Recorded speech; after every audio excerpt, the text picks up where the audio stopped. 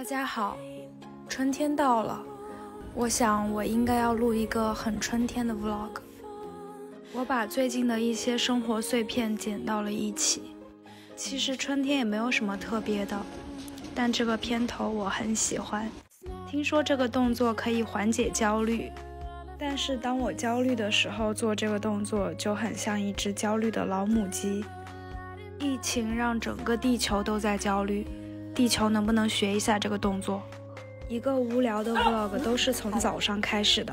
今天早上教大家做一个便携式的燕麦拿铁。我买了，嗯，燕麦奶和咖啡浓缩液，两者混合，使劲摇晃一下，就可以变成好喝的燕麦拿铁了，而且不用洗杯子。这个是我买的芋头条，蒸一蒸就很好吃。甜玉米也很甜，我准备出门了。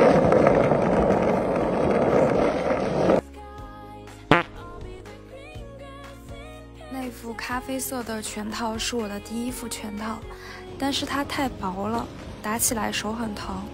然后我又买了一副绿色的。差生文具多，说的就是我。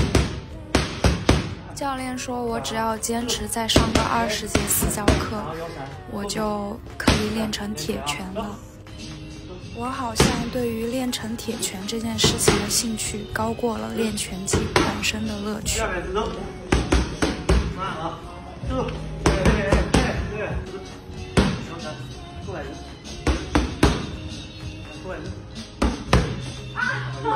因为每天都在喝咖啡，我感觉我的牙齿有点黄了。今天去美白一下牙齿。我看上次发这张照片的时候，有人问不会流口水吗？我想告诉你，会，甚至还会拉丝。好久都没有逛超市了，这个虾仁好大呀！最近也很喜欢吃这个芝士，热量不高，而且上面那只牛长得好像我呀。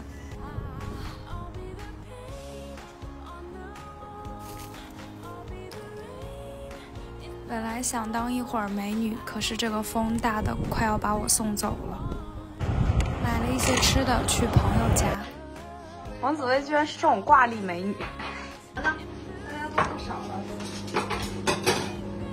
了。过年了是吗？你的年豆包在这里。他做了一桌子菜，这是今天唯一的蔬菜。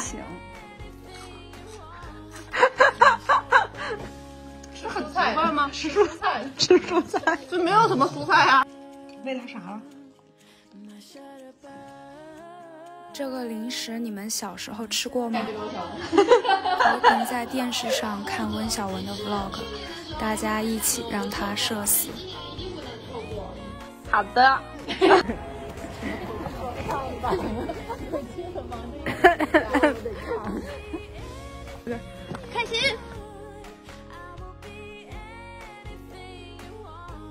拆几件今年的生日礼物，第一个是一块滑板的板，如果我想使用它，我得把其他的配件都配齐。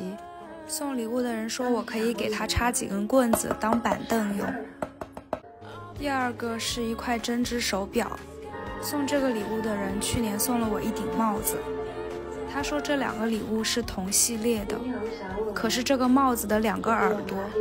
戴起来的时候无法直立，经常容易耷拉下去。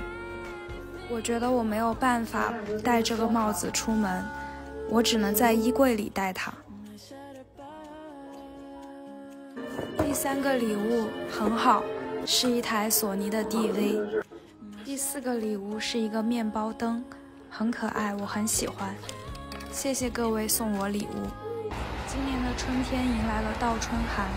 居然下雪了！下完这场雪，天气就要暖和起来了。有一天晚上，我看到大雁成群结队的飞回来了。谢谢春天回来了，拜拜。